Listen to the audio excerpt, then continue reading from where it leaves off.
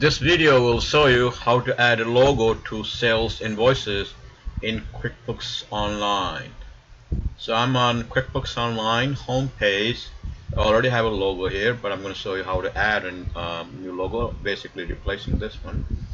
Uh, so you go in here, upper uh, upper right corner, it's your company gear, gear icon here. Click that one, and uh, select custom form styles under settings okay? I only have one standard form style in here uh, but it doesn't matter. If you have more it will take just one company logo. If you need just you can replace it but it will take just one company logo.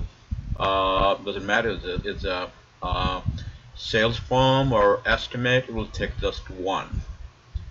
So click edit in here on action and the logo is right here on the right side since I have already one here you can't delete this one. I can't delete this one, this one.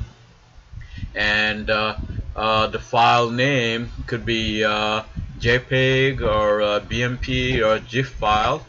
Uh, and this one has to be smaller than one megabyte in size. And the logo display is like a one by one inch so if you convert that to uh, pixel it's like 96 by 96 pixel type. Okay so I'm gonna click this and put in a new logo in here. So I want to use this logo from your computer. Okay as you can see here uh, this is this is the one by one inch display. It will look like this and it will change the the the color of uh, your invoice type to matching your logo. If you don't like it you can change it but uh, that's what it is. Uh, and uh, you can change the color code in here if you want to. Okay and so this is about it. That's all it does. Uh, you just have to save it. And if you don't like it here uh, if you like it in the middle or left and all you have to do is come in here as you can see here. Right now it's, it's at the center.